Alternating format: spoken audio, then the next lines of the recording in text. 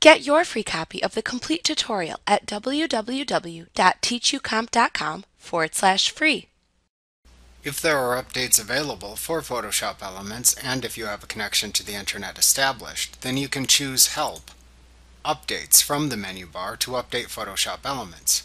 Note that if the command appears grayed out or unavailable, then this means that there are no updates for Photoshop Elements available at that time. Like what you see? Pick up your free copy of the complete tutorial at www.teachucomp.com forward slash free.